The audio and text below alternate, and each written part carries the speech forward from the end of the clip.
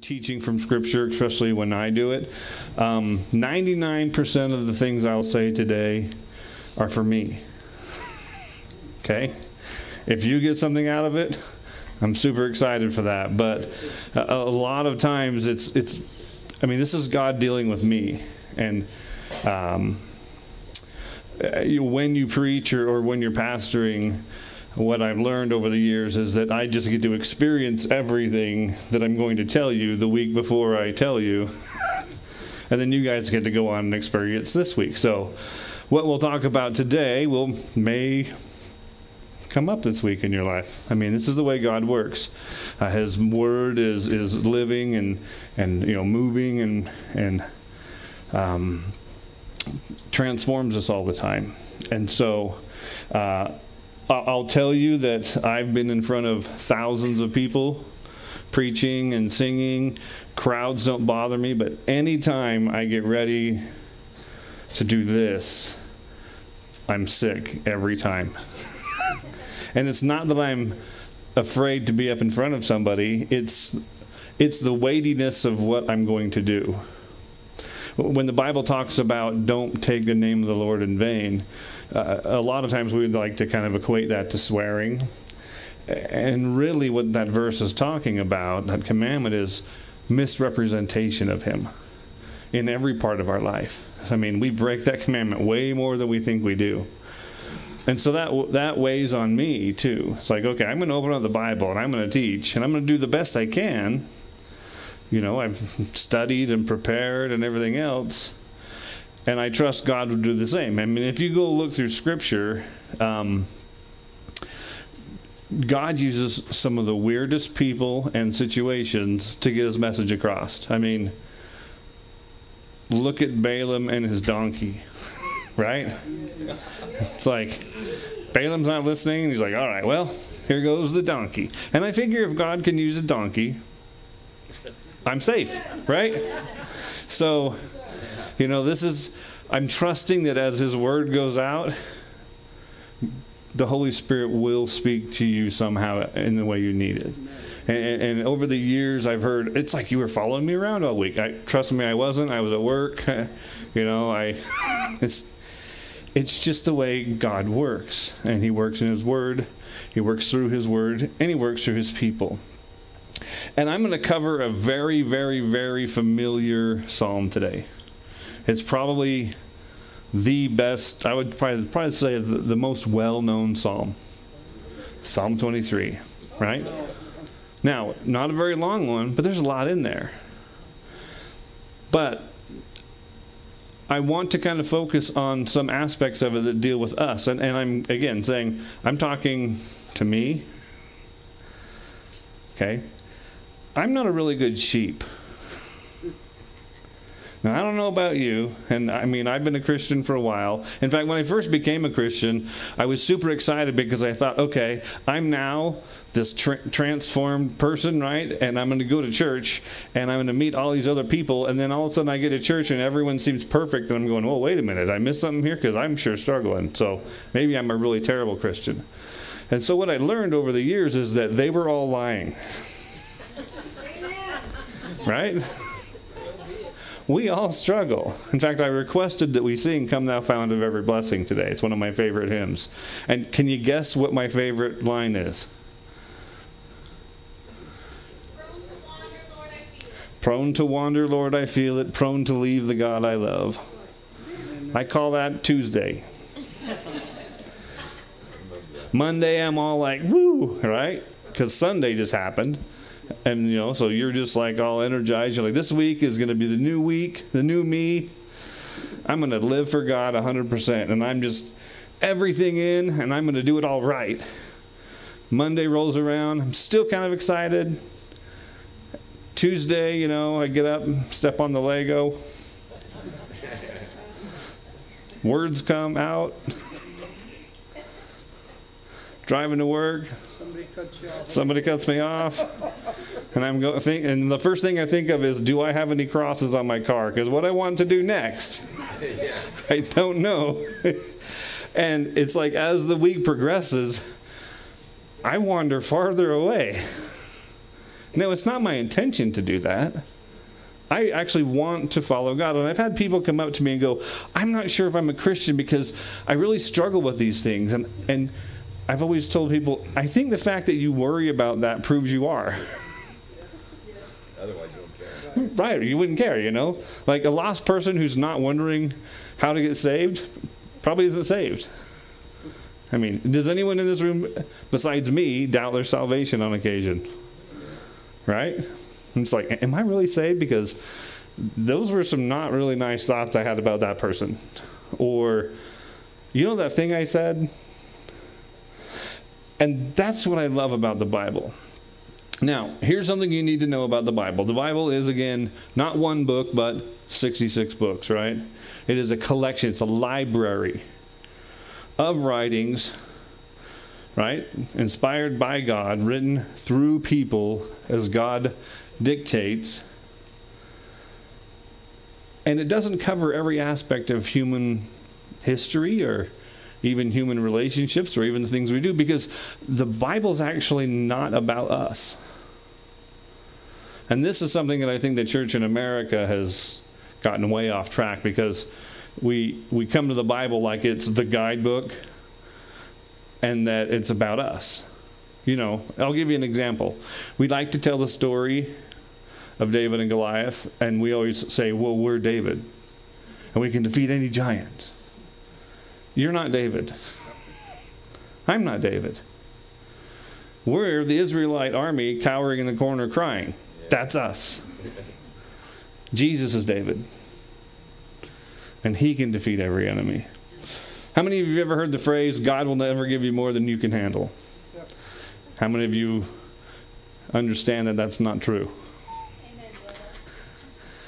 God will never give you anything that He can't handle. If you could handle it, you don't need Him. Right? It's like, well, I don't need Him. I got it. I'm covered. In Psalm 23, God is going to equate Himself, right? well, David as he writes the psalm. And, and do you think David understands shepherds? King David? He started as one, right? Now, just so you know, a shepherd is not a good title to have. It was always the lowest of the lowest who was the shepherd or the youngest in the family. So, just the fact that when the angels came and told of the birth of the Messiah, who did they go to first? Shepherds watching their flocks, right? The lowest of the low is where they went first. They didn't go to the palace, they went to the shepherds, the nobodies. When God calls himself a shepherd, he's putting himself below. The word pastor means shepherd. That's what it means. And it's you put yourself below. See, and there, there's the office of pastor, and then there's the gift of pastoring, which lots of Christians have. And it's that ability to just bring yourself low and serve somebody else. Now, the Bible equates God as shepherd and then equates us as sheep. Not a compliment. okay? Not, exactly. Right? Not a compliment. Sheep are stubborn. Yeah, they are. They're dumb. I mean, you ever just watch them? You're just like, oh my goodness. I mean, they're tasty, but that's not what we're talking about. They're dumb. I mean, and, and the sheep is, is not a wild animal, it's owned. It's a domesticated animal. And the shepherd has to constantly stay with the sheep. You drive around and you see the, the fields with sheep in them, you usually see a little trailer in there somewhere, right? Because the shepherd stays with the sheep and sleeps with the sheep. And so when King David is writing this psalm, he's writing it, okay, as scripture will show, you know, God's like, I'm the shepherd and all my people are sheep. In Isaiah 53, it says, all like sheep have wandered and gone astray, right? But you're going to notice a little bit different language in Psalm 23 because he says, The Lord is my shepherd. Okay? So you have this overarching understanding that God is the shepherd of his people. For, for years, uh, when I pastored, people would say, Oh, you're the senior pastor. I'm like, No. I might be the lead pastor or the teaching pastor. Jesus is the chief pastor. He's the chief shepherd.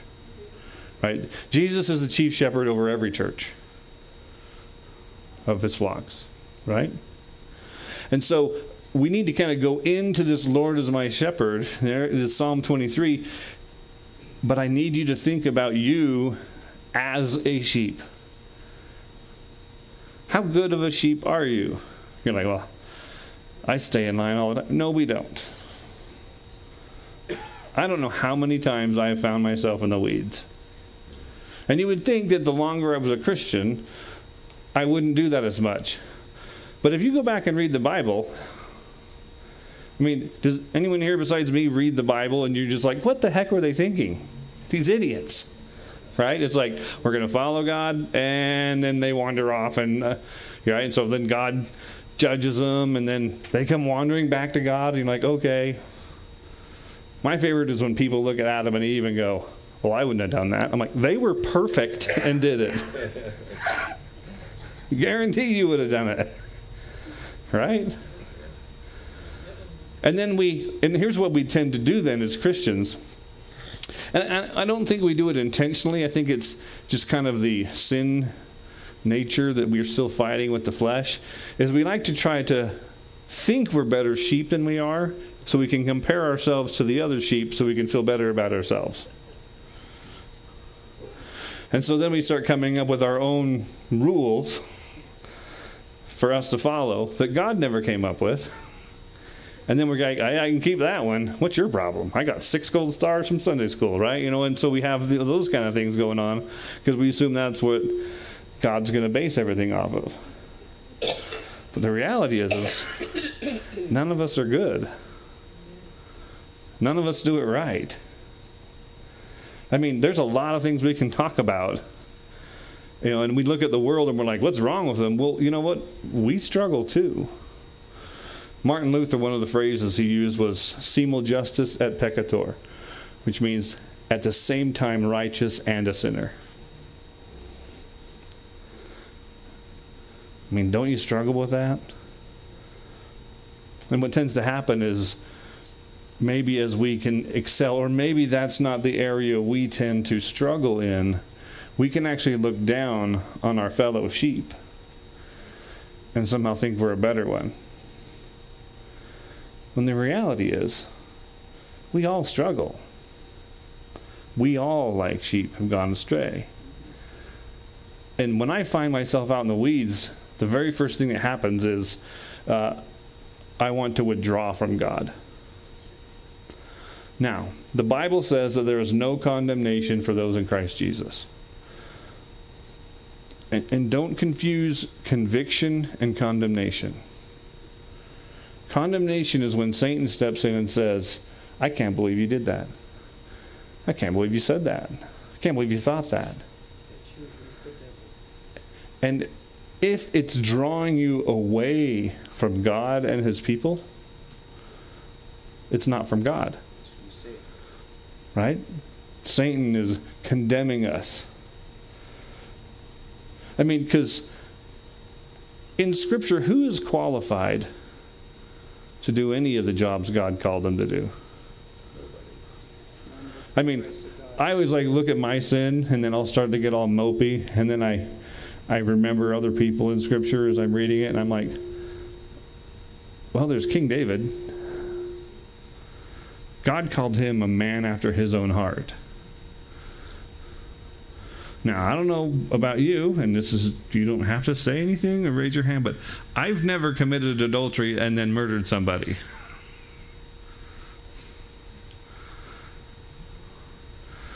Now, if I were to gather around the Apostle Paul and King David and Peter and these guys and start complaining about my sins, they would all probably start laughing at me. They'd be like, "You're not even on the team, buddy. You're not even junior varsity. Or I mean, you're like, you know, I mean." The, the vast majority, and it's really struck me when I first found out, the vast majority of the Bible was written by people who'd killed somebody. Now, I'm not telling you to go out and kill somebody. But look what God can do with somebody. When we take an honest look at the Apostle Paul, who was the greatest missionary in history. I mean, look what God did through him. Prior to his conversion, he was the equivalent of ISIS. He was. He gathered up Christians, men, women, and children, drugged them out of their homes, and had them executed. And he did it over and over and over again. In fact, he was so consumed by it that he jumps on a donkey and starts heading off to a city 75 miles away just so he can get them there. And on his way there, the shepherd smacks him around a little bit, blinds him, right? So as we look at Psalm 23, there's the overall picture of God as shepherd, but this is my shepherd. God cares about all of his people, but he cares about us individually as well. He will leave the 99 to go get the one. remember, that verse isn't for you and I either. We tend to go, well, we've got to get the one. I'm like, no, no, no. He leaves the 99 to go get the one because you won't be able to do anything. I mean, if you look at most Christian bookstores, most of their books are on things that aren't our job how to build a church and how to convert people. Two things that are not our job. Because Jesus will build his church and the Holy Spirit will convict people of their sins. Not our job. What's our job? Love the Lord our God with all our heart, soul, mind, and strength. And as we go out and do good works, they will see those good works and glorify our Father who is in heaven. And then we proclaim the message of hope and peace, the message of salvation. So if you have a Bible, because I don't have time like Jim to do really fancy PowerPoints all week long. Not that that's not a bad thing. I'm glad he does, and I learn a lot from him. But I'm a good old. In fact, I like paper. I like hard copy, right? if you like the phone, that's fine. I, I, I don't care. You can use your fake Bible. Just kidding. But in Psalm 23, it starts off, and it's just a psalm of David. Again, David, they're thinking most likely he's king at this point, thinking back. And, and, and in Psalm 23, it actually portrays God in two different kind of viewpoints shepherd and host. And he starts off and he says, The Lord is my shepherd, I shall not want. And so David is declaring an allegiance here. My shepherd, the one who watches after me, the one who protects me, the one who cares about every little thing. I mean, do you realize how that God cares about even the smallest, most minutest thing in your life? He does. Does it seem like he does sometimes? No. Sometimes it seems like he's a million miles away, but guess what? We know better. And he says, The Lord is my shepherd, I shall not want. It means I won't have any wants. Now, notice it, it means our needs, is what that means. Don't confuse needs and greeds. Right? The Lord is my shepherd. I can't wait for the iPhone 14. no, that's not a need, right? We get confused in our world. Right? God never promises our greeds. And sometimes what we need is something to get taken away from us. Right? Sometimes we need to go stand in the corner. He's going to take care of our needs, though. But we don't always know what those are. And sheep definitely don't. he says, I shall not want.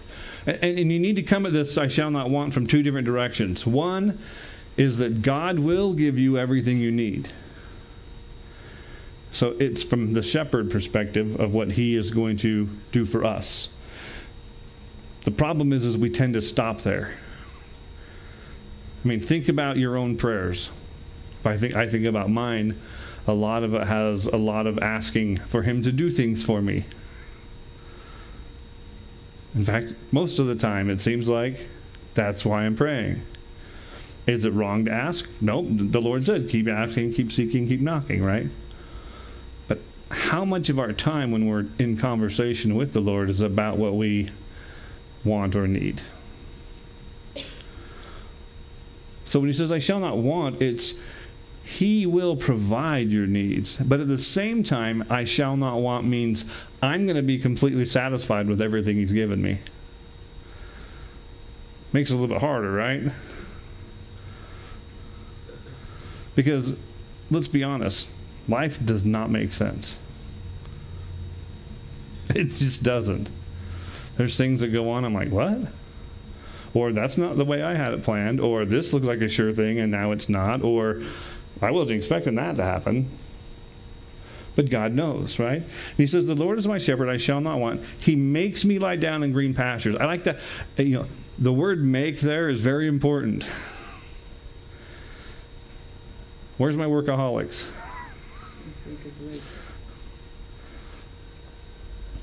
One of the commandments is six days you shall work, but on the seventh you realize that we're actually designed for a seven day work, seven day week of working six, resting one? And other countries in, in history have tried to change that. They wanted an eight day week or things like that, and it never worked ever. Anytime they've ever tried to change it, it only works when it's seven. Because God designed us that way. Right? And think about our week. We now rest on the first day of the week. You realize Sunday is the first day of the week. Okay? Now, six days you shall work, and on the seventh, rest. So you need to have working six, resting one. That needs to be your pattern. If you don't, God will make you rest. And sometimes that's in the form of illness. Anyone ever worked so much, he just crashed, so, what I like to do about this point in my life as I read through this is I like to raise my hand and resign as Supreme Commander of the universe. Because guess what? When I rest, it's actually a faith thing. Do you trust God enough to just take a break? We don't really talk about taking breaks enough in Christianity. We're always talking about doing stuff. And I'm not against doing stuff. But we're supposed to take rest. I mean, Jesus is our Sabbath. You, do you realize that you can take a nap to the glory of God? How awesome is that? I can lay down in my bed or on the couch, my recliner, wherever, and I can close my eyes unto the glory of God, lay there with my eyes closed, and that's still a form of worship. Now, Sheep need to be made to lie down in green pastures. so he's taking us to areas, right? He makes me lie down in green pastures. These are places that nourish us and feed us because that's part of what the shepherd does. He's like, look, this is good for you. Now, sometimes they have to be forced to lay down. When Paul was on his missionary journey, here's what he knew you need to go preach the gospel. That's pretty much all he knew. How does he know where to go? Did Paul ever try to go somewhere he shouldn't have? Yeah, right? So how did he know?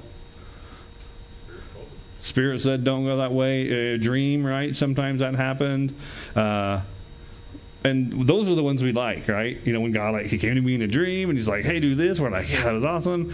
Here's the ones we don't like. Oh man, I need Paul to get to that island. I'm going to sink his boat. yeah. We're usually not happy about that one, right? Like, wait, what? Oh, and spend three days at sea. By the way, has anyone here done that? Oh, okay. And then he gets on the island and we're going, all right, God's faithful. You know, because if you listen to what a lot of people in our culture say about Christianity, when you become a Christian, everything becomes easier and better and wonderful, and everything goes your way, and you get lollipops and unicorns and bubblegum and all that other stuff.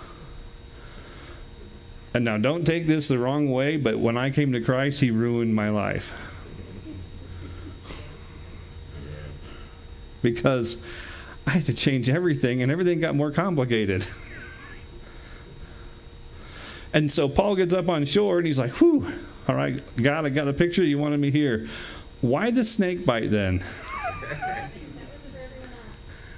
it was, right? It was for everyone else. We don't think about that either, do we? See, God has to make us do certain things, and sometimes certain things happen to us that aren't really entirely for us. But as sheep, we trust the shepherd. He says, He, he makes me lie down in green pastures, He leads me beside still waters. Now, sheep need four things to lay down. Okay? Sheep by nature are timid, so they're afraid. If, if a sheep is afraid, they will not lie down, they stand. Sheep also don't like friction among the other sheep. If there's not if there's friction among the family, the sheep won't lie down. Sheep also don't like being annoyed by flies and parasites. If they have lots of flies bothering them and lots of parasites on them, they won't lie down. Sheep also will not lie down when they're hungry. What does it take to make a sheep lie down? They got to be satisfied. In who? In the shepherd. Knowing that the shepherd is there, knowing that they don't need to be afraid. Knowing, see, because the Holy Spirit, believe it or not, the Bible tells us multiple places, the Holy Spirit brings unity. That's one of the main things that He does among the flocks, among His people. And when God's people are divided, I promise you the Holy Spirit is not in there. Holy Spirit brings unity. The shepherd brings unity and relieves friction. Also, the shepherd removes the pestilence from us, right? He removes the flies. He removes, he gets, he has to get the things that are bothering us away. And he needs to make sure we're fed. Now, notice this is all the things that he has done and that he continues to do. What part have you played so far in this? Right? Nothing. The shepherd steps in. If you need the pastures, that's where he puts you. If you need the water, that's where he takes you. You ever just sat in a nice meadow with a stream? Like maybe under a tree on a nice temperature day, not like a hot day, not too cold. It's just, you know, Goldilocks just right kind of stuff. And how relaxing that is. Do you realize that even in the middle of chaos, we can feel that way? But when the sheep try to take charge, doesn't do so well, right? He leads me beside still waters. He restores my soul revitalizes me, recharges me. Right? Those times when God sometimes has to make you lie down, He's not doing it because He's mad at you. In fact, this is something that we need to understand as Christians. If you are in Christ, God will never be angry with you. Ever. And He won't be because He was already angry at Jesus in your place. That doesn't mean he won't be disappointed. That doesn't mean he won't correct, and we'll get to that here in a second. But he will never be angry with you. Because it would be unjust and unrighteous for him to be angry at Christ on our behalf and then turn around and be angry at us.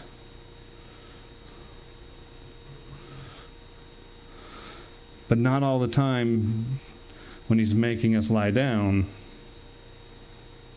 do we see it as something good. He says he restores my soul. He revitalizes me. We need those things. And, and, one, and one of the things that we have an issue with, especially in our culture, see, we, we, we come to the to scriptures and we come to them as 2022 from the United States of America. Now, don't get me wrong. I've served this country in the military for years. I've worked for the U.S. government almost my entire life. I think it's a great country. But Jesus did not drape himself in the American flag on the cross. Jesus did not come to save America. He did come to save Americans, though. And I think we have gifts that we overlook a lot, right? In fact, if, if you go read Deuteronomy chapter 6 and just kind of equate that to you and I today, because God says, hey, I'm going to take you into this land full of milk and honey, and everything's going to be great, everything's going to be wonderful, and then you're going to forget about me. I think that's what's happened here. Is we have it too easy.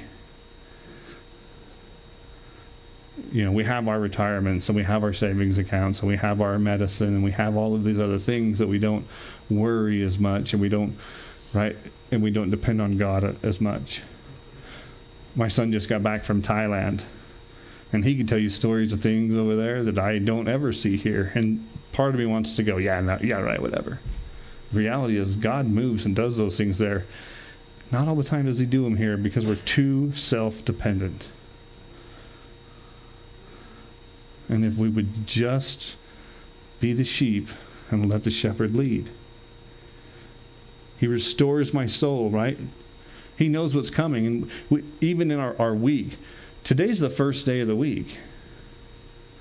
And if you go read Genesis, it says an evening and morning was the first day, an evening and morning was the second day, an evening and morning, right? Because the Jewish day actually starts the night before. Now think about that. What if you shifted your entire mentality into that viewpoint?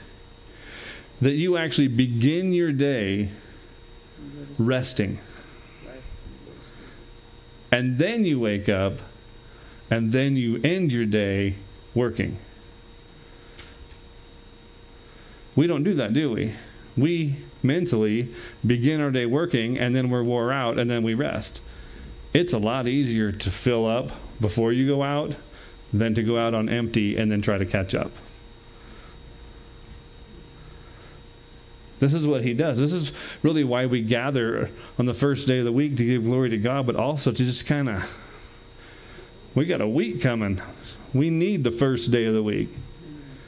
We need it to recharge. Not for what we just did, we need it for what's coming. Now, we don't know what's coming, but we continue on. He leads me in paths of righteousness for his name's sake.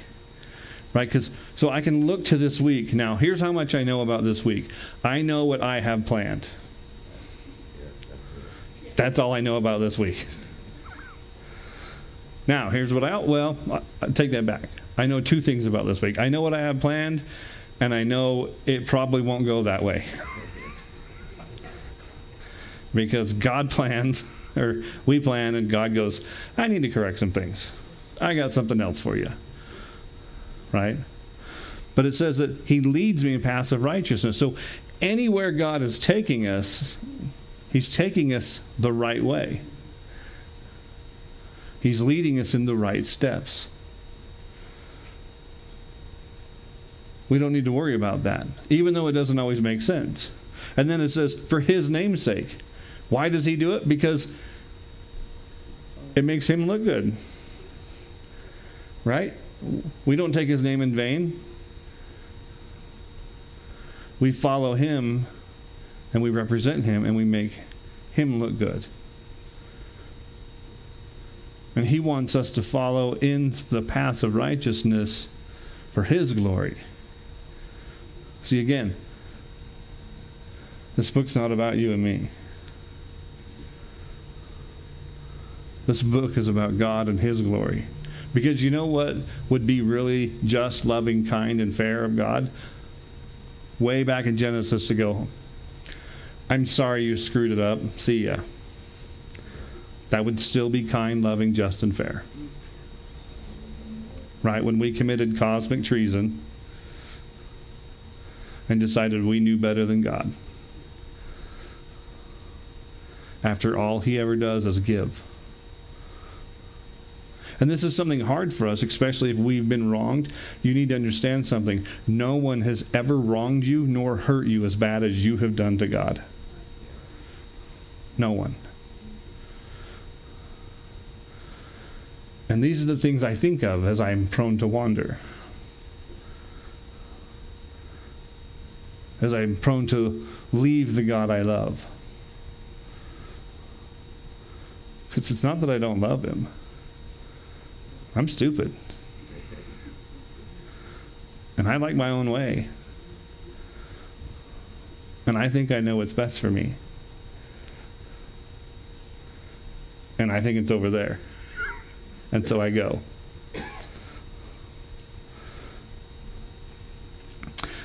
Verse 4.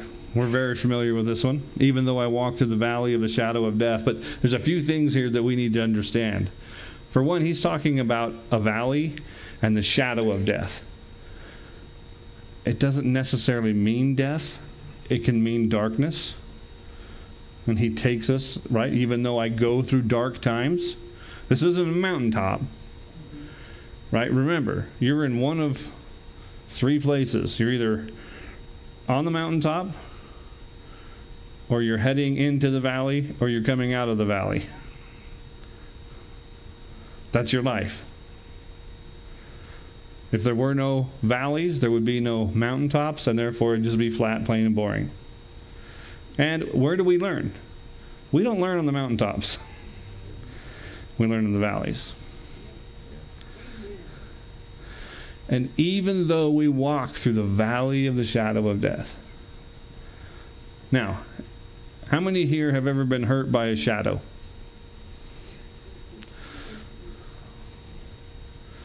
If like so my shadow's like right here. So if someone stood over here and then I move my arm like that and my shadow hit your face.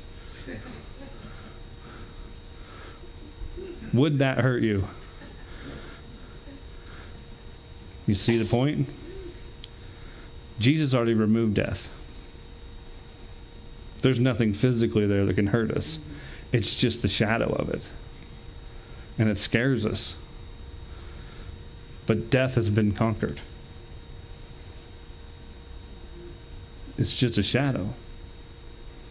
Even though I walk through the valley of the shadow of death. Now, the other thing we have to remember is there's a different way of doing shepherding in the west and the east. In the west, we sit behind them and usually have dogs and everything else and push the sheep along.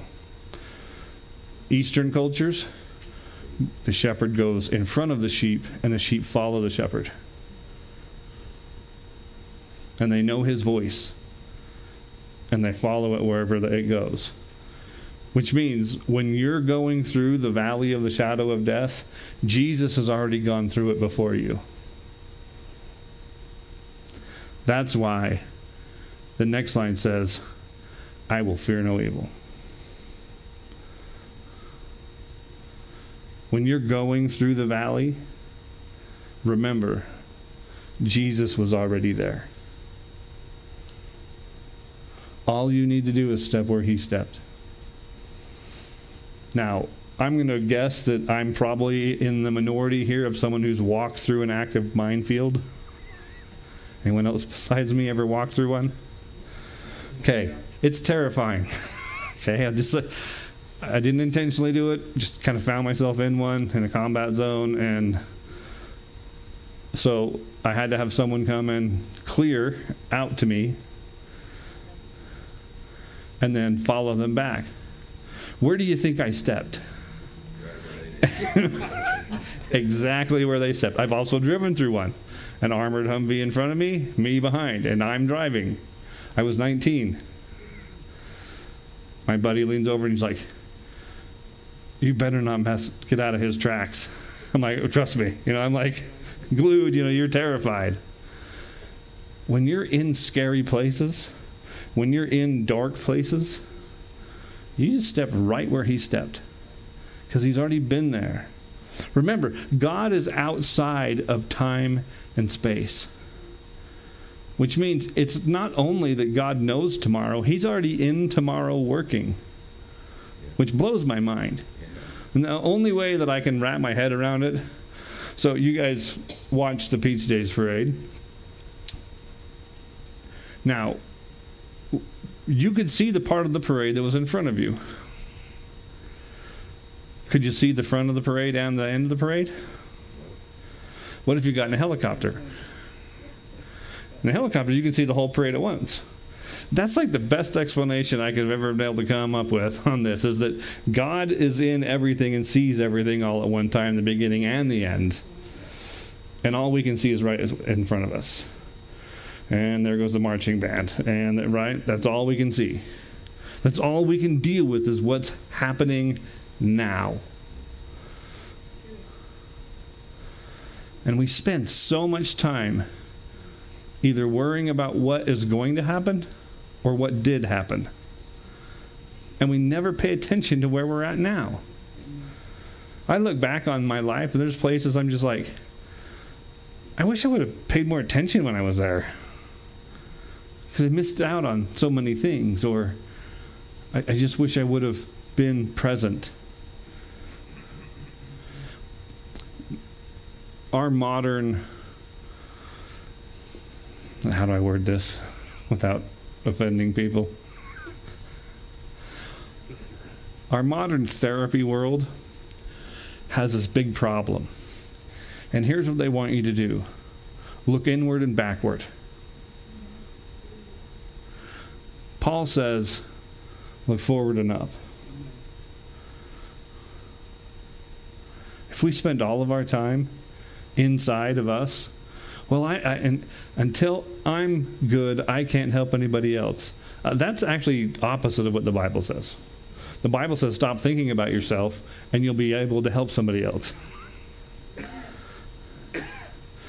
And he says, He leads me in paths of righteousness for his name's sake. Even though I walk through the valley of the shadow of death, I will fear no evil, for you are with me. Now, this next one confuses me a little.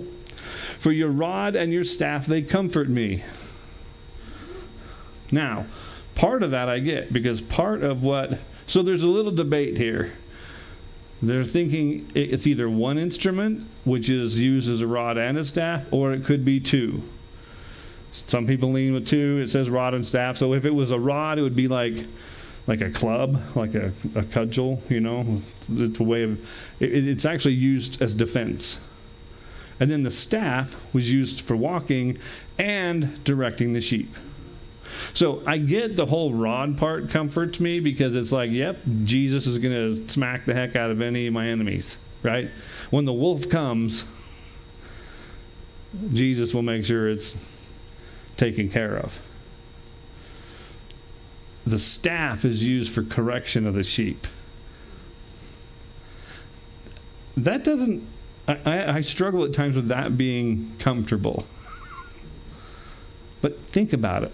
The Bible says, those who he corrects, he loves. That if you spare the rod, you spoil the child. Right? He says, if you do not even discipline your kids, you don't love them. Mm-hmm. I mean, we live in a world right now that's proof of that.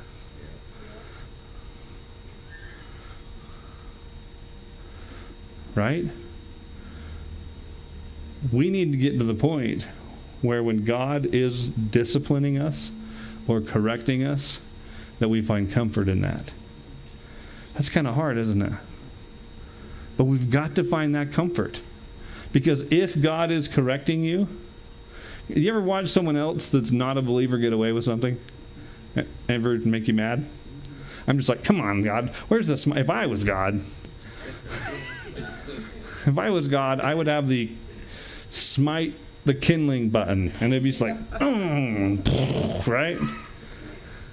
I, identify with the two disciples that went, Hey, Lord, these guys don't even care we're in town. Should we call down fire from heaven? See, that'd be my first response. Like, can we just burn them up? but see, we want justice for everyone else and mercy for ourselves. I'm really glad God didn't hit the smite key on me. Because I'm sure there's I'm on some other list somewhere up there that's like the you got to be kidding me list. I'm pretty sure I'm on that one. it's like, oh, another check mark for Joe, right? I mean, that's it's like I, I'm pretty sure I'm like when it says, you know, I'll leave the 99 to get the one. That's usually me. Sorry, guys. You know, when Jesus wanders off, you're like, where is he? He's probably tracking me down somewhere and then disciplining me and bringing me back. And I find great comfort in that because he who began a good work in me will see it through to completion. I don't like the way I am, but here's what I do know God's not done with me. Because if, if, if I'm the completed picture, it's like, I don't want to go to heaven. It's like, he's, this is it. It's Joe. It's like, he has a lot less hair than I want in heaven. Mine just migrated. I'm going to get it so I can comb it over.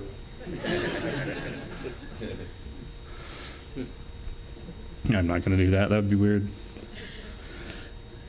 But your rod and your staff, they comfort me.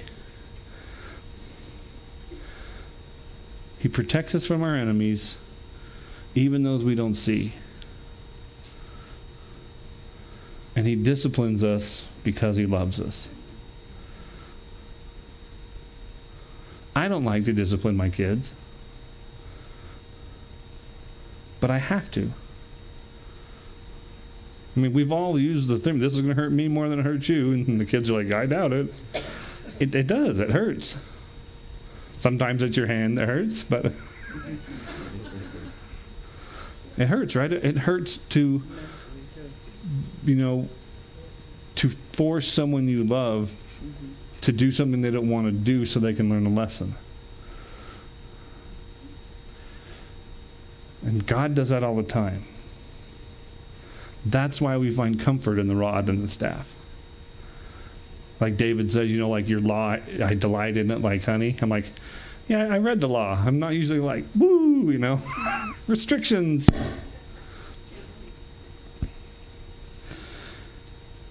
Now, in verse 5, he actually jumps to host and is no longer in the shepherd mode. He's in the host mode of inviting us to be with him as he takes care of everything for us at the table. A meal means a lot more here than it does in our culture. We treat food like either an idol or fuel. That's pretty much how we treat it, right? In fact, we want to know how fast we can get it. I've literally pulled up to the drive in at Wendy's and ordered my food, and they're hanging the bag out the window before I've made it to the window. And I still consider that a little slow because I got stuff to do. And so we treat it like it's either fuel, I got to get something in me so I can continue working, or we treat it like an idol, right? We have entire TV shows based on it, uh, whole networks. The Food Network. Now, the vast majority of things that happen in here happen around a meal. You ever notice that? You go read it? Jesus was always eating with people. And I'm like, in fact, they called him a glutton and a drunkard. How much in a culture that revolves around eating and drinking do you have to eat and drink to get called that? I mean, he was all. Do you know Jesus got invited to tons of parties? Do you think it was because he was boring and stuffy, like, you know, some church people we know? Do you think Jesus wandered around looking like he had just ate roadkill? He was fun. I mean, I can only imagine what 13 guys walking down the road would come up with, especially where 10 of them were rednecks. Jesus and the disciples. I mean, I bet you they had some pretty crazy times, pretty fun times. And Jesus, he was fun. And meals are actually huge, important things because to sit down with somebody means I'm inviting you into my family. I'm seeing you uh, as equal with me. I'm, uh, we're fellowshipping together, we're family together. I also align myself with who you are and what you stand for. That's why Jesus warns when you run across certain people, don't even eat with them. And we just go like, well, that's stupid. Because in order, you know, for that to happen, you didn't eat with them. That was a sign of disrespect. That was a you're not part of the family. It was a big thing. We don't quite understand that today. And he's the host of this meal, and he says, You prepare a table before me. He prepares the table. You'd think it'd be the other way around, but he's the servant. Do you realize how much God does for us? We always argue and complain about status and titles and everything else in our world, and the King of Kings and the Lord of Lords will get down and wash people's feet. In fact, the ultimate sign is he'll come and die a gruesome death for something he didn't even do. And he wants to sit down and eat with you. He wants to host it. You know why we like to go and eat out? Because you don't have to do the dishes and they bring you the food and take it away. See? Right? That's, that's why. It's like if I go to my wife and go, hey, let's go on a date. I'll buy the groceries and if you want to cook, right? You already see that I'm going to get in trouble if I even finish that sentence because that's not a date, right? A date is like, hey, we're going to go somewhere where you don't have to do that. I don't have to do that. Somebody else does it and we pay for them to do it. Jesus prepares the table. What's your job in this one? Sit down. We're doing a lot of resting and sitting in this one. I kind of like this song. And eating, yeah, right? We're good. And notice it doesn't even give any diet restrictions like don't eat the cheeseburger. You prepare a table before me in the presence of my enemies. How great is that? I mean, and this could be now, but this can also be in the future when it's like, all the people that just thought we were nut jobs for believing in Jesus and following him and who gave us a hard time and who killed Christians and thought they were right. And we're all going to sit down with them while they're in captivity.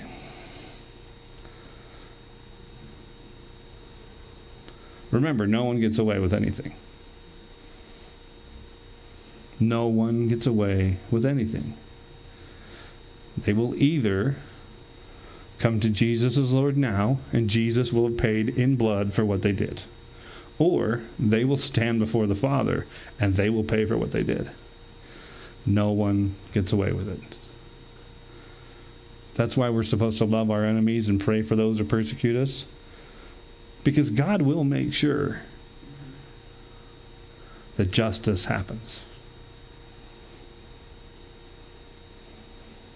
So we can be in the presence of our enemies and still sit down at the table and relax.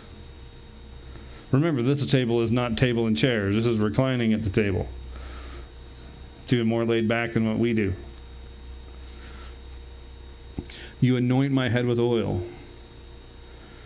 My cup overflows. Right? Bottomless drinks. Those are always my favorite at the restaurant. Except for when I haven't finished one and they bring me another one. I'm like, I had two drinks and now I have two drinks. I'm like, okay, well, I only took two sips and now I've got, it makes me look like I drink a lot of soda, but, right? It's c- cup overflows. See, when God provides, there's more than enough. When God intervenes, there's more than enough.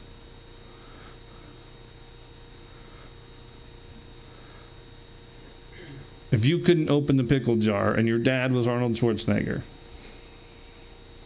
would you worry about opening the pickle jar? Or would you just go, Dad, can you handle this? This is what we do in our life is we grab all these things that we can't accomplish and then we worry about them. Just sit at the table. Lie down in the pasture. Walk through the valley. Because I promise you, when you're walking through the valley, there's another sheep behind you. And they need to step where you step. See, one of the scariest verses in Scripture to me is when Paul says, Follow me as I follow Christ. Do, do you know what he's saying there? Hey, if you want to be a good Christian, if you want to end up just like our Lord and Savior Jesus Christ, just do and say what I do. I don't think any of us in this room would dare say that.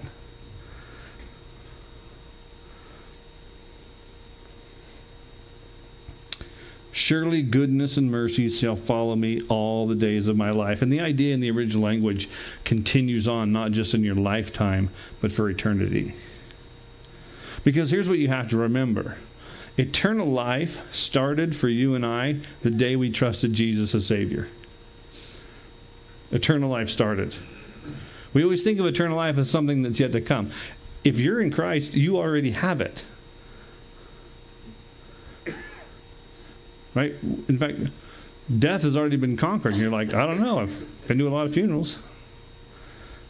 Yeah, they're, they're changing addresses. That's it. That's all that's happening. A believer is just changing an address. And with that in mind, what do we have to fear? What's the worst they could do to you? Kill you?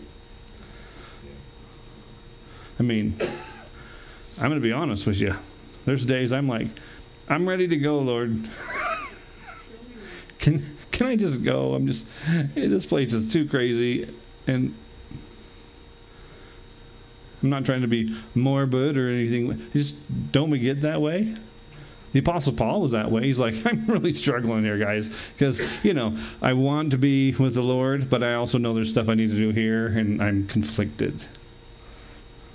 But the worst thing that anyone could do to you on this planet is take your life. And since death has already been conquered and we're in Christ, all that means is they're ushering us more quickly into the presence of the, the Father. I'm like, bring it on. You mean I don't have to pay bills anymore? I don't have to go to work? Bring it. I always wonder, you know, when I read through Scripture and I run across people like Lazarus, how, how bold were they after? Right, he'd already been dead for four days. I would have been a little bit mad if I was Lazarus. like, I died. I'm just like, yeah, I'm there. And then all of a sudden, I open my eyes and I'm like in a tomb and I've got bandages on me and I'm just like, I'd be like, oh man. But Lazarus wasn't resurrected in the fact that he got his glorified body. He was what we'd call revived, right? Brought back to life, and he died again. But I, I, I will bet from that point when he walked out of that tomb to the point that he died again, I bet you no one could shut him up. yeah. And they're probably like, How do we get rid of this guy? Let's just kill him. He's like, Please. Already been there. I already know what it's like. I think that's why Paul was just so fearless.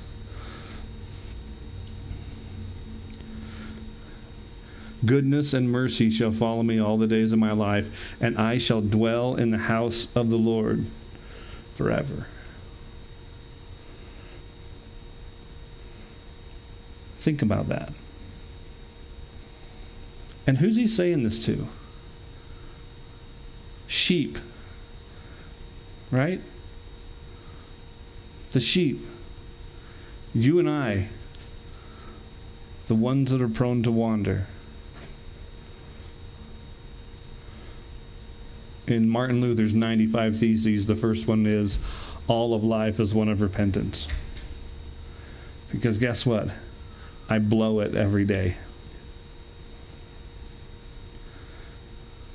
The thing is, is we come up with ratings and color codings to make us feel better. Like it's a white lie. Because since we color coded it white lie, it's now somehow okay. Well, that wasn't a lie, it was a white lie. I'm a good Christian. Like, uh, that was a lie, even though you said it was a white one. Or my favorite is, well, eh, they weren't liars. It, it, it was a half truth. That's like being almost pregnant. Yeah. You are or you're not. It's a lie or it's the truth. no half lies. But don't we do that? Or my favorite is when we compare ourselves to Hitler. Well, not as bad as Hitler. Like, true. You're still terrible. Because what does it take to get into heaven? Perfection. That's what it takes. Perfection. Now, what if you started right now? And for the rest of your life, you were perfect. Now what? Too, too bad, right? You already weren't perfect. Who deserves to go to heaven? No one.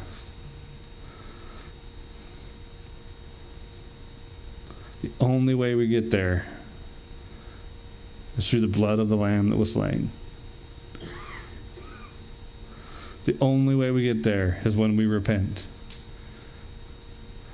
And even though we are in Christ, we make a mess out of things on a regular basis. That does not mean you don't love God. That does not mean you're not a Christian.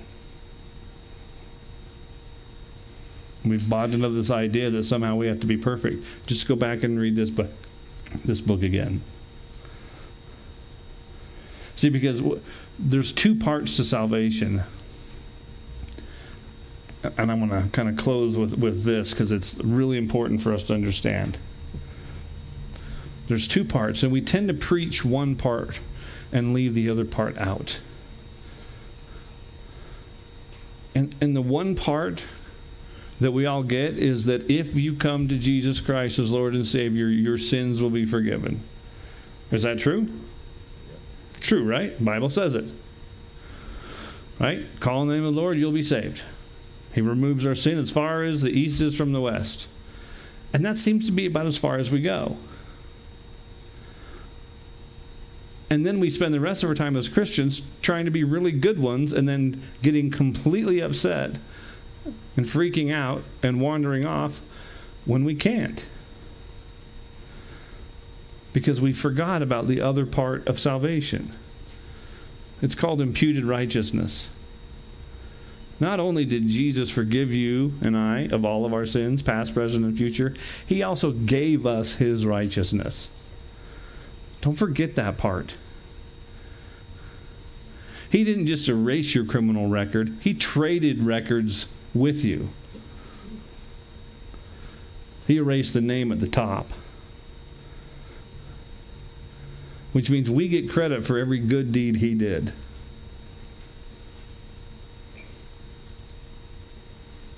Right now, even though it doesn't feel like it, and even though we're prone to wander, and even though we fight this body that is still stuck in sin, God sees you as 100% righteous right now. Don't forget that. Because Satan will exploit that. And he will make you wander.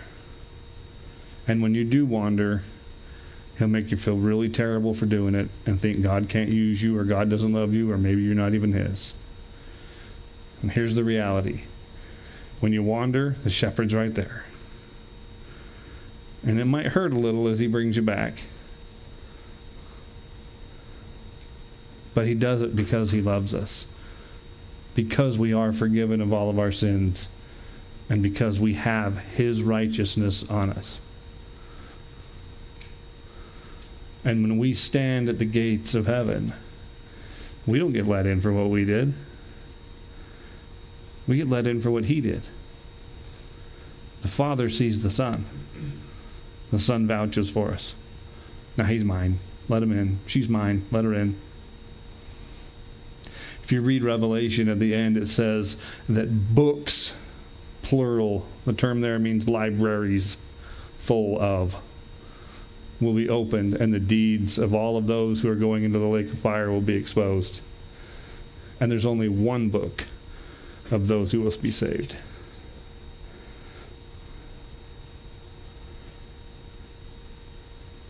It's not about how well you follow the rules. God will take care of that. It's how much do you love the shepherd? How much do you trust the shepherd? That's what being a Christian is. You are not going to get to the gates and St. Peter will be standing there going, How's your Sunday school attendance or how's your church attendance on Sunday? That's not, uh, that's not even part of it. I'm not saying don't come to church. I'm not saying don't read your Bible. I'm not saying don't, uh, right? But it's not based on those things. Our salvation and the love God has for us is based on Him. And you and I, if you're in Christ, are His sheep.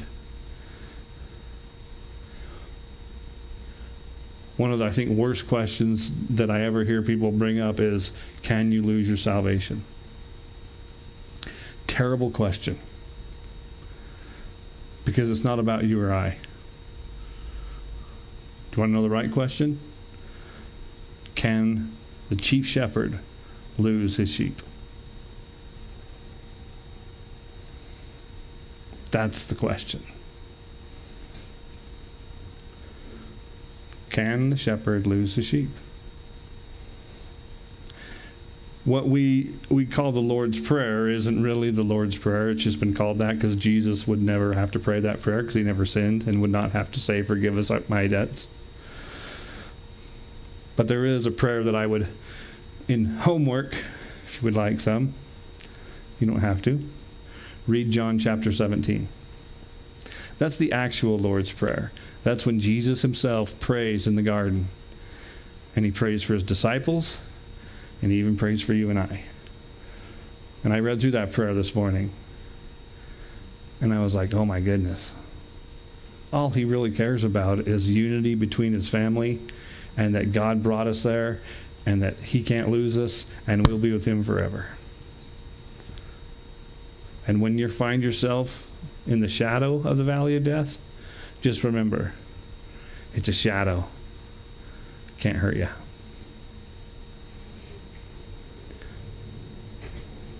He's already conquered Satan, sin, and death.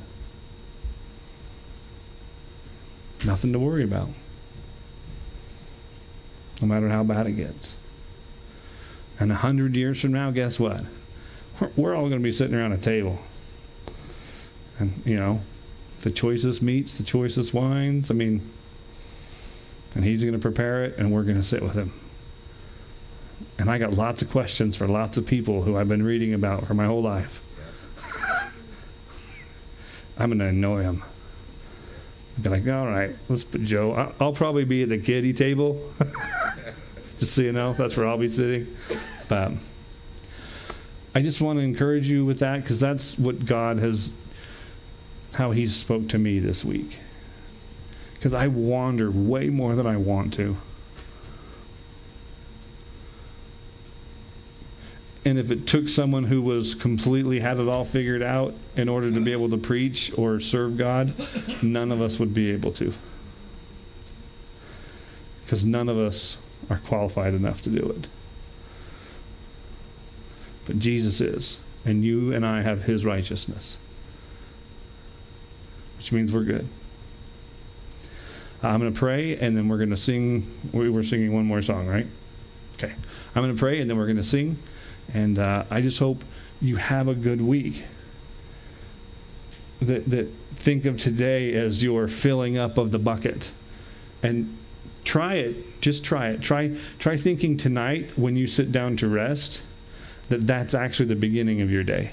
That's your Monday. Your Monday starts tonight at sundown and you're resting first, and then you're going to go to bed and get some sleep, and then you're going to wake up and finish out your Monday until Tuesday evening, which one is what we're till Monday evening when Tuesday begins. You'll see if you just shift the perspective, it really changes your day because you're going into the day full and ready for it, as opposed to coming home and crashing and burning. Because that's the way God designed us.